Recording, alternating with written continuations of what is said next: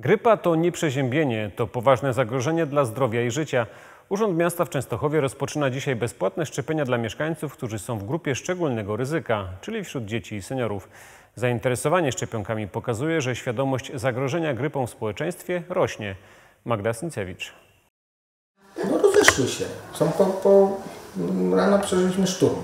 A to dopiero pierwszy dzień. Tym razem z darmowych szczepień będzie mogło skorzystać około tysiąca osób. Ci powyżej 65 roku życia, chore dzieci oraz przedszkolaki. Świadomość, jeśli chodzi o szczepienia, wzrasta, a tutaj jeśli chodzi o grypę, to mieszkańcy już właściwie od początku wakacji pytają się, kiedy będą te szczepienia.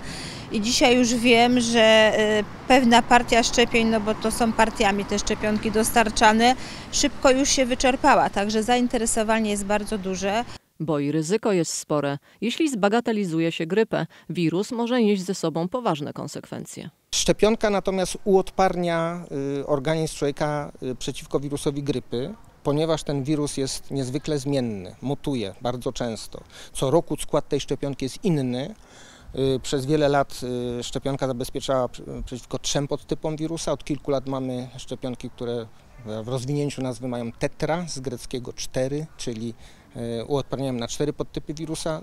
Dwa podtypy wirusa typu A, która powoduje ciężkie zapalenie płuc, doprowadzając do powikłań, i dwa wirusa grypy typu B, który wciąż jest groźny, choć w łagodniejszej formie. Z miejskiego programu można skorzystać w dziewięciu przychodniach na terenie całego miasta.